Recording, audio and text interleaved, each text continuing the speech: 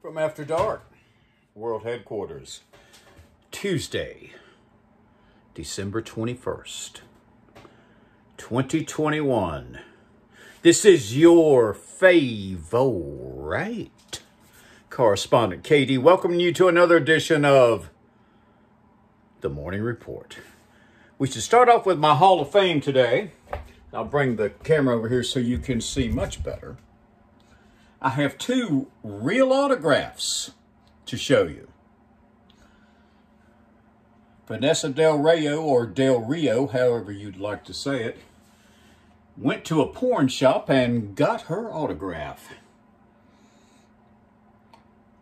I have a picture of her and I together somewhere. Anyway, I put my hands around her waist. She looked at me and she said, you know what?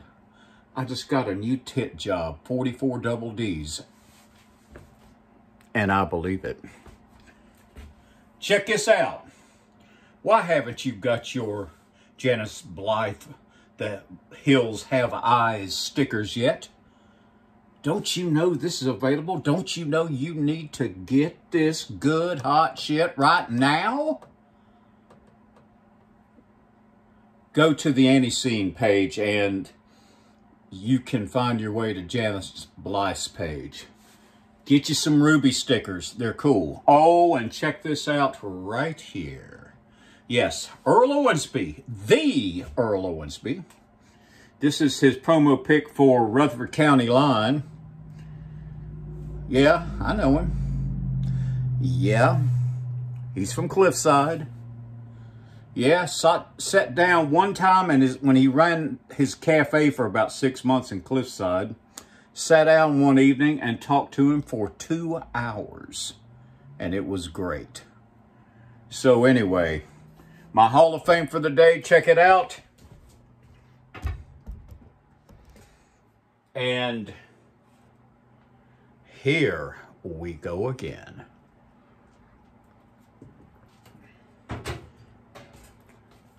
Let's check out a personal development classic for a second here. I'd like to go to Turning Mistakes into Stepping Stones for Success came out in the year 2000 by John Maxwell. The major themes are self-belief and mindset.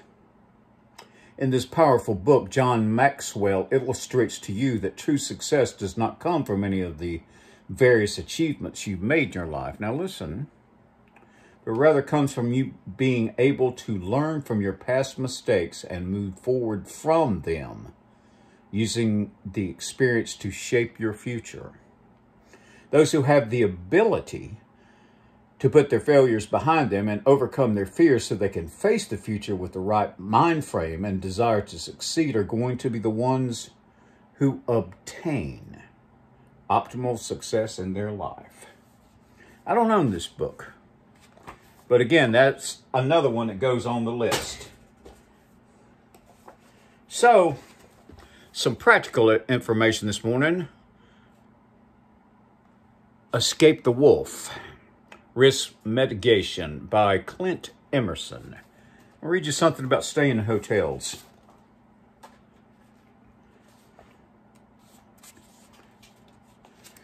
Most first-class international hotels spend a considerable sum to ensure your safety and security. Fire safety equipment, closed-circuit televisions, and security patrols are often part of the hotel security plan. Regardless of the level of security provided by the hotel, you need to become familiar with certain aspects of the hotel security profile. This will take an increased significance if you're forced to stay at the only hotel at a particular location.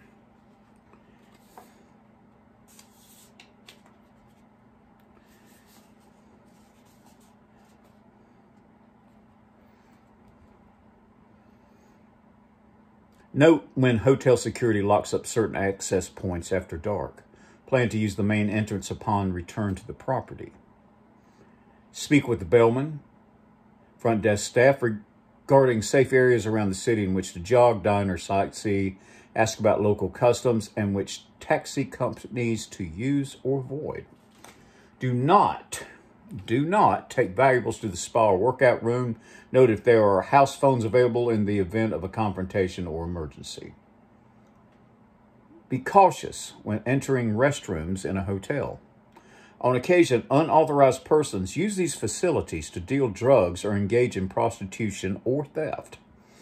Female travelers should be alert in placing purses on hangers on the inside of the lavatory door lav- lavatory doors. Why can't I say that? Lavatory doors or on the floor in stalls, as these are two frequent locations for grab and run thefts. Ladies, you did hear that, right?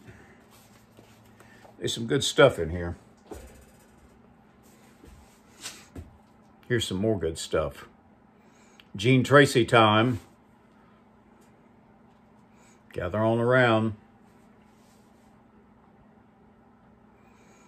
I'll try to tell it Gene Tracy style. Yeah! Heard about the lady who loved to shop for shoes. She went in the shoe store wearing that short skirt and no drawers. She's trying on different shoes. The shoe salesman is trying his best to keep calm. And of course, he's right there with a bird's eye view. And so at a certain point, he just can't handle it anymore. And he said, Goddamn, baby, I'd like to fill your pussy full of ice cream and eat it. Well, the lady was offended and went home to her husband. She told him what happened. And she said, I want you to go down there and whip his ass. Husband said, now hold on a minute here. Number one, you've already got enough shoes. Way enough shoes. Number two, you shouldn't have been walking around town in that short skirt and no drawers on. And third, I'm not going down there to whip his ass. I'm not. Any dude that could eat that much ice cream, I ain't fucking with.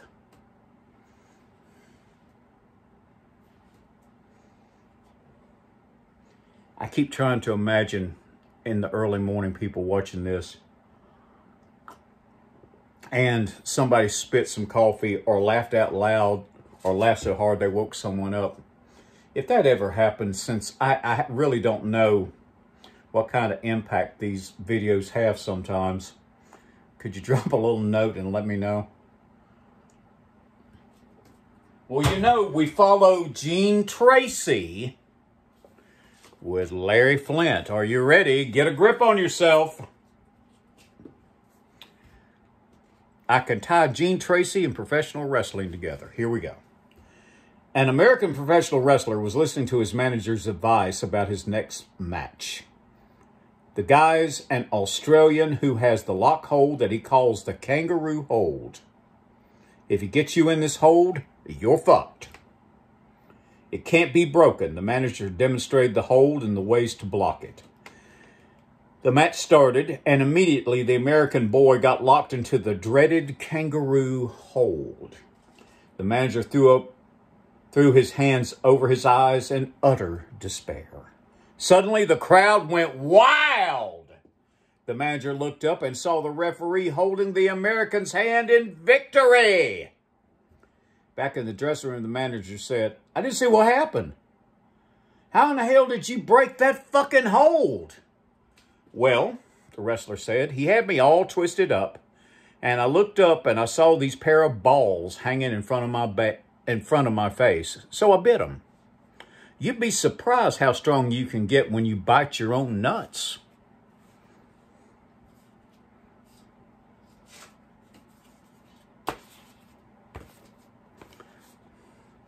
Gene Tracy and Larry Flynt. A lethal combination. And now it's a sad day.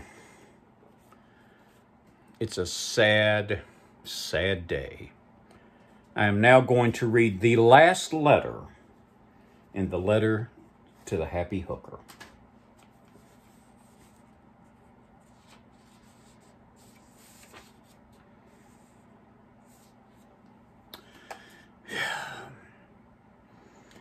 Dear Xaviera, Xavier, Xavier, whatever the hell she calls herself. I just got done reading your new book and it was fantastic. I read your first book too and it was cosmic. I hope you write me back because I told all my friends that I was writing you and it would be a bummer if you didn't. I can't wait until your next book comes out because I'm sure as hell going to buy it. I wish you would show a picture of Larry in your next book because I'd like to see him. Not that I'm a gay dude or nothing. In your chapter, The Producer's Hoax, when that dude was raping you, I would have beat the shit out of him with a chair leg. He must have been a sadist. You know, the idea of swallowing sperm just turns me off. Anytime I yell like that, it's always in all caps. It may be good for the skin, but I'll be goddamned if I'll drink the shit. I wish I could talk to you and you could autograph my book. If you ever come to Bakersfield, make it known, okay? I'd like to meet you. I'm glad you are honest about your sex life because it takes a lot of guts to say you jacked off a German Shepherd. Wow! Oh, by the way, I'm 15 years old. I hope that you will write back just once, please. I also hope that you use this letter in your next book. All my friends will really flip, and even more if you write me a letter. Wow! Bye for now. Name withheld, Bakersfield, California. And that's it.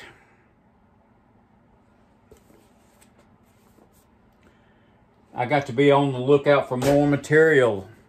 Xavier Hollander is just way too good. So now it's time to get consequential shit done. We're right in the throes of National Goof Off Month. Let's get consequential shit done. Remember, say it with me. Got the hiccups. I was to have a sip of coffee when I tell you to remember.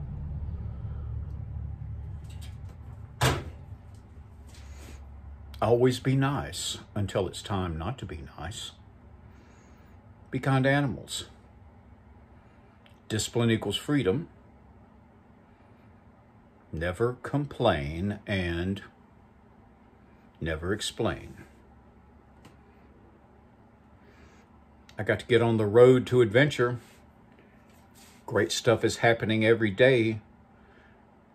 And remember, get it done now.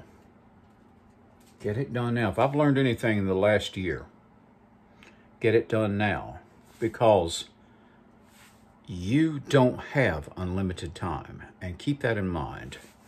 So I want to see you on the road to adventure wandering the earth. And I hope to meet you wandering the earth someday where we can get into adventures. Have a great day, everyone.